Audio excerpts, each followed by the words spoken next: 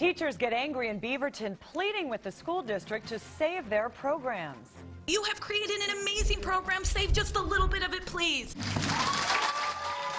They say they're willing to give up their own pay to make sure that students have their favorite classes. Welcome, everyone, to KOIN Local 6 at 11. I'm Kelly Day. And I'm Jeff Gianola. KOIN Local 6 reporter Jessica Morkert was at that packed meeting tonight. And Jessica, the question is, is there really anything that can be done at this point? Well, Jeff, it's not really looking especially optimistic. The school board says that this budget has already been approved, but with such heated and emotional testimony tonight, anything is possible.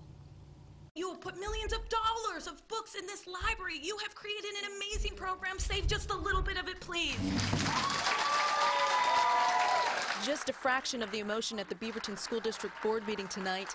The hallway overflowing with parents, students, librarians. Why were all librarians eliminated from the schools? And music teachers, many wearing red supporting music and asking the school district to reconsider. I understand that you do not have the ability to renegotiate the union's contract, but it is within your purview to directly ask the, the, the, union representatives to go back to their members and let them speak as to how many days they are really willing to sacrifice. The Beaverton School District is facing $37 million in cuts, including some 344 positions.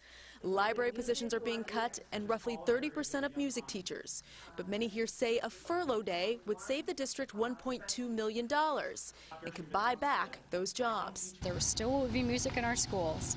Students will still have opportunities for choir and band, uh, but we will not be able to offer the same level of service. It's just not possible. But the district says teachers have already agreed to five furlough days next year and another four the following and cannot sustain any more. We hope that when the funding gets better, it will restore, but we are not eliminating any of the music.